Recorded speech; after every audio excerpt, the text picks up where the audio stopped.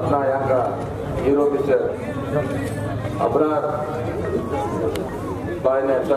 जलसा लगाया। ये जलसे का नाम है पढ़ो और बढ़ो पढ़ो और बढ़ो बोले तो सब अब तक सब लोग बताए आप लोगों को। जो आदमी पढ़ के ऊपर आता है उन्हें कुछ कमा सकता, कुछ हर दिन में, हर चीज़ में ऊपर आ सकता है। इस वास्ते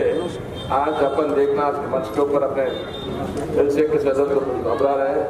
मेहमान खुशी सी। हमारा IPS officer ex commissioner of police Hyderabad city के पुलिस कमिश्नर सर अपना ए के खान साहब और प्रवीण कुमार साहब आईपीएस ऑफिसर है,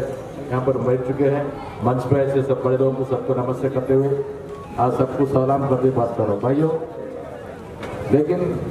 आप ये बात ये बहुत अच्छा जलसा है। हर माँ बाप ये सोचता मेरे बच्चे भी मैं मेरे बच्चे को अच्छा तालीम देता हूँ। मैं तालीम देने के बाद मेरा बच्चा भी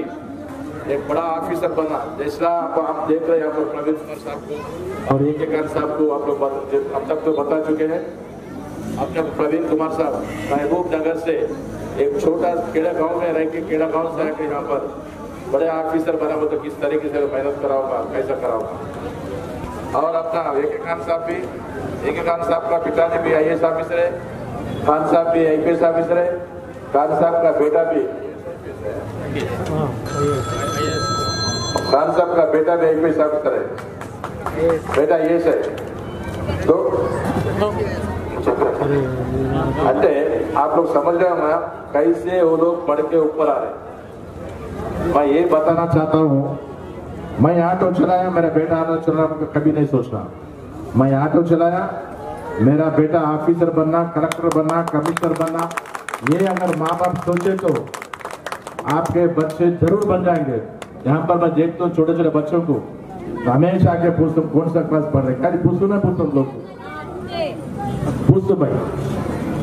बच्चों को पहले से बता देना, बेटा तो अच्छा पढ़ना। अच्छा पढ़ के ऑफिसर बनना अच्छा पढ़ के डॉक्टर बनना अच्छा पढ़ के इंजीनियर बनना, वो बताना। नहीं तो मेरा बच्चा है, अब बारह साल का हो गया, उसको बंडी लगा देंगे, होटल में लगा देंगे पंचर का दुकान डाल के लगा देंगे, बोले तो बच्चा का पूरा लगा कटे कर, करे सर का होता। उसका उसका ज़िंदगी बर्बाद करे सर का कौन का कर देते माँ बाप भी कर दे। वैसा कभी नहीं, आपका बच्चों को अच्छा तालीम दो अच्छा तालीम दे के अच्छा पढ़ाओ, पढ़ाने के बाद वो लोग अच्छे बनते।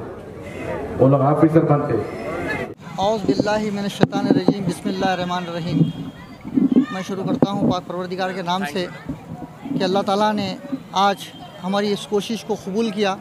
और हमने जो इनवान रखा था, पढ़ो और बढ़ो। इस उनवान को अल्लाह ताला ने बरकत दी और ये कामयाबी से हमकिनार हुआ। दो आईपीएस ऑफिसर ए के खान साहब और आर एस परवीन कुमार साहब इस शहनशीन पर तशरीफ़ लाए और उन्होंने अपने ख्याल का इजहार किया। ये वो लोग हैं जो तालीमी मैदान में अपनी खिदमत को अंजाम दे रहे हैं। लेकिन ये तालीम का जो पैमाना है ये आम लोगों से मुतल है और हर एक तक ये बात को पहुँचाने के लिए हम ये कोशिश किए कि भाई जो बात आप लोग आ, अपनी सोच से अपनी संजीदगी से हुकूमतों के ताउन से जो काम आप अमल में ला रहे हैं इसका आम लोगों को गरीब लोगों को इसका फ़ायदा पहुँचे। और इस दरमियान में मेरा एक ताल्लुक़ सेरोस ऑर्गेनाइजेशन से हुआ तो मैं महसूस किया कि सेरोस एस कम्युनिटी के लिए एक बहुत बड़ा काम कर रहे हैं और वो लोग जो है ना, जो जो झोपड़पट्टियों में, बस्तियों में और जो कंस्ट्रक्शन जो साइट्स है, वहाँ पर पे जा कर के उनके लोगों को जो है ना तरगीब दिला रहे हैं कि वो अपने बच्चों को तालीमी तौर पे उनको स्कूल्स तक पहुँचाने के लिए उनको तरगीब दिलाने का काम ये साल के बारह महीने कर रहे हैं नॉट ओनली एडमिशन्स के टाइम पर तो फिर मैं आर एस परवीन कुमार साहब से इस बात का तस्करा किया, सर, आप जब इतना संजीदगी से एक टीम के तहत, एक ऑर्गेनाइजेशन के तहत जब आप ये काम अमल में ला रहे हैं तो इसमें माइनॉरिटी कम्युनिटी मुसलमान कम्युनिटी को भी इसमें शामिल अगर कर लेंगे तो इससे आपकी कम्युनिटी को भी फ़ायदा पहुंचेगा, थोड़ा कंपटीशन रहेगा और जिससे जस्तजू भी पैदा होंगी। और एक साथ ही साथ माइनॉरिटी कमेटी मेरे मुसलमानों के अंदर में मेरे, मेरा अपना नज़रिया है कि एक हल्का, एक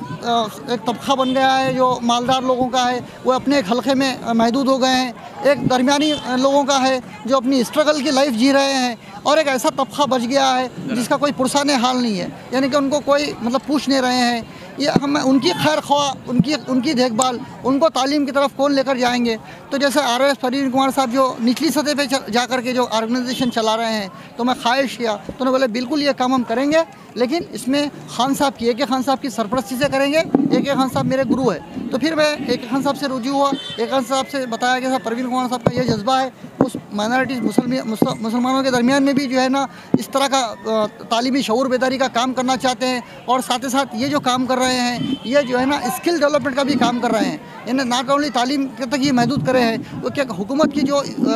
फैसिलिटीज़ है, वो पहुँचा रहे हैं और बिज़नेस डेवलपमेंट का भी काम कर रहे हैं। तो इस तरह ये तमाम गुफ्तु के बाद फिर ए के खान साहब ने बहुत जज्बात के साथ ये कहा कि बिल्कुल इस काम को करना चाहिए और काम जो अच्छा है, वो किसी के भी साथ खड़े होकर करना चाहिए। अच्छा काम सबके साथ करना चाहिए अच्छा काम सबके लिए करना चाहिए। इसी जज्बे के तहत, इसी मन मंशा के तहत ये प्रोग्राम मनद किया गया और ये मोजिज़ मेहमान और बहुत सारे मोजिज़ मेहमान आए हैं, लेकिन वक्त की कमी की वजह से उनको जैसे डॉक्टर